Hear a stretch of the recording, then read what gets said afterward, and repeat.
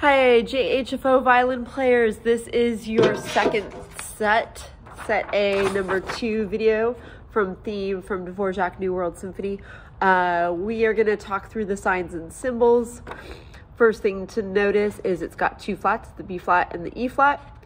Uh, so we are in the key of B flat major, relative G minor, but we're actually in B flat major. You can tell this is a happy, slow, peaceful relaxing and beautiful piece, one of my favorite pieces. And uh, since there are two flats, there are no sharps, so we have all the naturals. And the other thing to notice is the bowing. Okay, so when um, you practice this, I recommend just starting with air bowing and singing the notes. You can do that along with me while I play, just checking your bowing. There's a lot of slurs. Okay, there's some slur patterns. The first two measures have half notes in a bow. And then the next two measures have whole notes. So we slow our bow down twice as slow in measure three and four as in one and two. Uh, so working on just getting the bowing down is half of what's tricky about this. And then the other half is just playing with the low B flats and E flats and all the naturals. And then we have also just a notice, we have a lot of those dotted quarter rhythms. So making sure we're subdividing our, our uh, time signature is 4 4. So we're going to count 1 and 2 and 3 and 4 and 1 and 2 and 3 and 4 and so we can give the dotted quarter note one and a half beats. One and two, eighth, one and two, and we're not going to stop the bow. I just kind of stopped the bow so you could see that's where the next note is. Okay, so I'm going to play it. This is at a slow tempo at 66 and uh, I recommend that you don't play along the first few times. Get really good at just the bowing, then get really good at just the left hand, then you can put it all together. So you're just gonna repeat and rewind and practice with this video as many times as you need until you can actually play the bow and the fingers along together, okay? So our concert speed, one and two, and ready, go, and.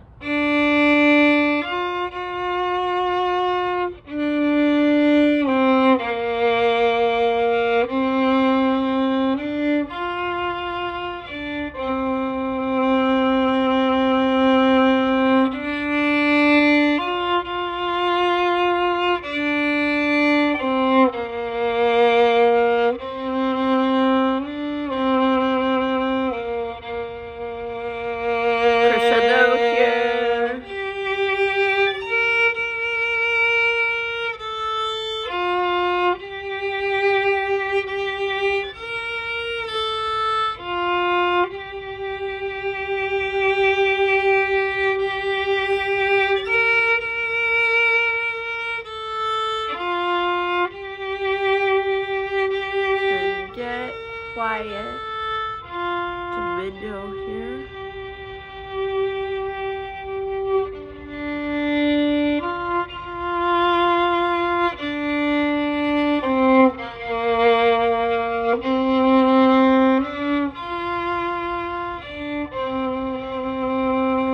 Now we're to start a crescendo here, but not too much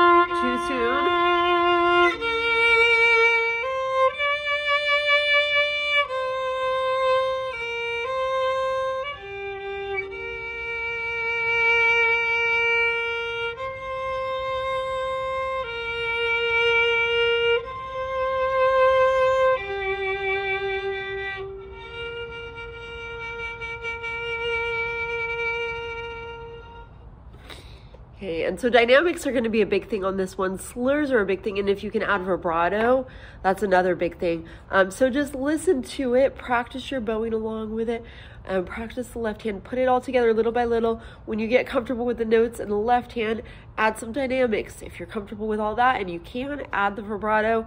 Uh, let me know if you have questions, and happy practicing.